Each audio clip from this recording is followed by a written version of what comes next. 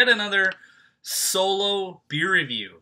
And today I wanted to look at something that was graciously sent to me by my good friend Kasey, and it is a Berliner Weiss style ale, something a little bit more sessionable, something that I can handle on camera.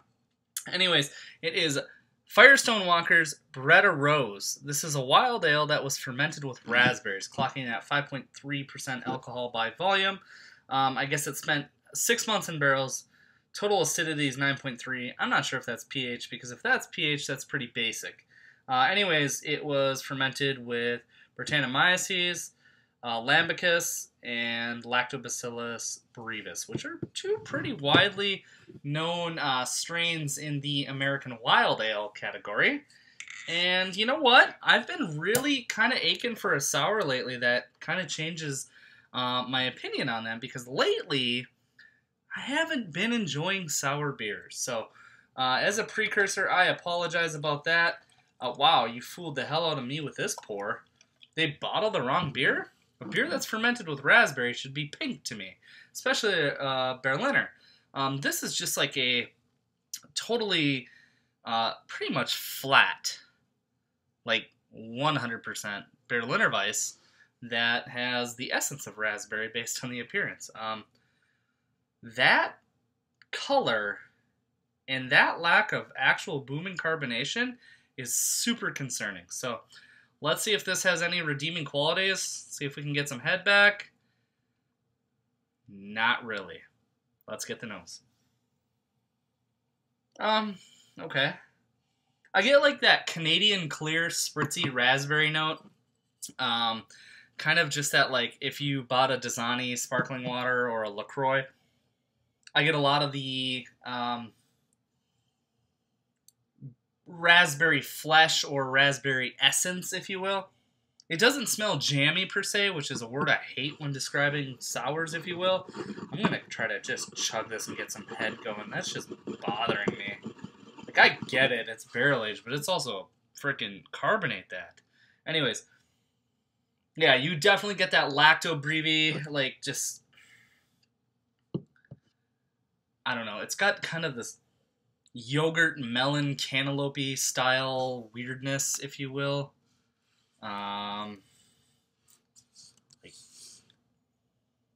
I don't know. It's really, really pedestrian when you think about it. it. Um, I'm trying to think back to the what's it called? Uh, Berliner series from Schell's, where they did Framboise du Nord. And this is just whatever. Um, yeah, definitely raspberries, just nothing too crazy. Uh, a little bit of this sweet sour note coming through under it, but yeah, I the nose of the complexity of it is just not that much. Uh, 500 case is made. Uh, doesn't actually state the bottling vintage, i.e. year. Not on the cork. Not anywhere I happen to see. So sorry for not knowing that on camera.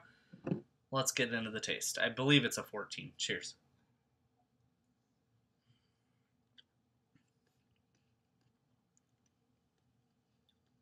It's weird.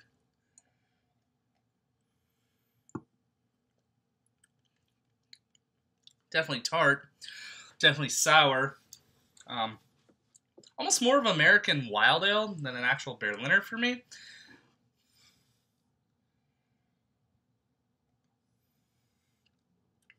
With a Berliner, I typically get a little bit more of a cereal, crackery, bready, frosted flakes characters, where a lot more of the malt comes through.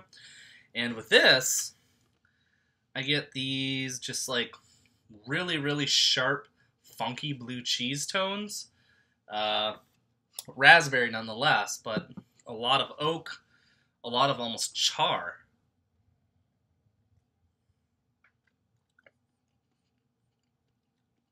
Yeah, I get this really, really earthy, pungent, um, rich cheese character. Um, the only way I can really explain it is with French cheeses. A lot of them that are super, um, you know, I'm not a cheese connoisseur, but like they have this really, really dirty component, this funky component, this um, kind of like stank, if you will. Uh, this has that and the flavor. The nose is nice. The flavor is just weird.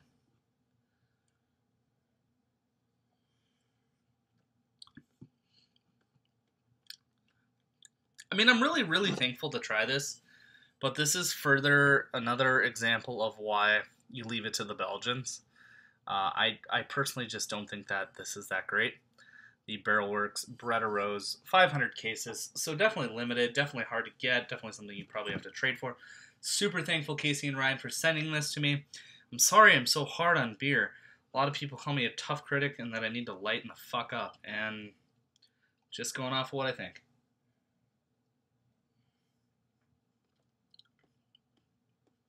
I mean, puckering. Brutally tart. Wish I had my pH meter here so we could tell if this is below 3. It's got to be teetering, like near stomach acid. kidding, but like a 3 3 would not shock me on a pH meter here. Um, just really, really lacking in the raspberry department. Color, taste, too much funk. And when I say funk, I don't mean nice barnyardy horse blankety, you know, fly trap um, descriptors, which are bizarre in themselves. I just get this really unpleasant, funky Brett notes that are really detracting from the beer. Um, extremely overly tart. Man, I need a glass of water to finish this bottle, and I'm pretty pissed off that this is where it's at. Um, no spritzy mouthfeel. Uh, really boring, funky, earthy, mushroomy, like ground matter finish. Weird stuff. Uh, hopefully, the rest of the series is not like this. Maybe I got a bad bottle. This is uh, wow, weird. They call it a rose color on the back of the bottle. Don't get that. Uh, let's just read it to you. Behold, Bretta Rose, a low alcohol Berliner Weiss style ale, acidified and matured in French oak puncheons for six months. 1,000 pounds of fresh, locally soured Santa Maria raspberries were added, and allowed secondary wild fermentation for more for four more months. And voila! This crisp, effervescent concoction is bursting with raspberry perfume and flavor. A rose color, bracing acidity. I will give them that. Uh, and a clean, refreshing finish. A Asante. Uh, yeah. Let's see what it gets on Beer Advocate because I'm curious. Are you guys okay with that? Good, because I am.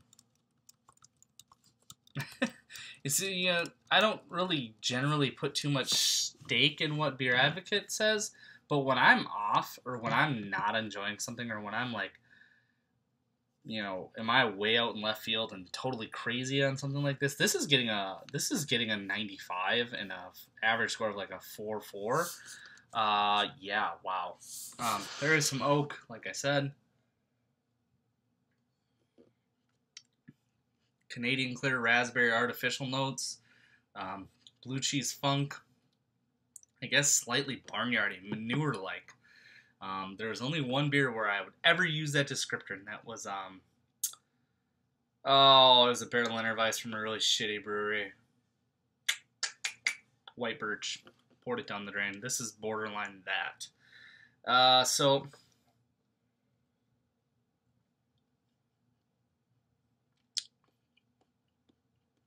Maybe I don't give um, Berliners enough credit, um, but a beer that's flat, zero color respective to the fruit that was added to it, and just is pretty one mute dimensional, and yeah, he, uh, leaves me yearning a lot more from this barrel program. So, hey guys, still love Firestone Walker, still love their barrel program, still willing to try anything that is soured by them.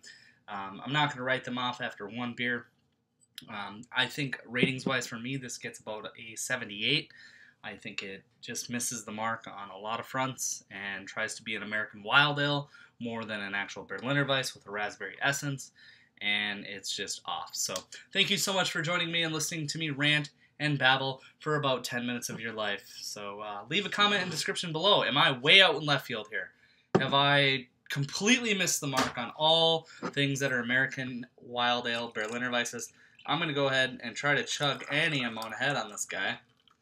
See what we can achieve here. And I'm going to sit back and see if this improves with some fish or pair it with something light and slightly acetic as well, uh, with a salad or something. I don't know. I just, it's going away for now. So thank you so much for listening to me. Cheers.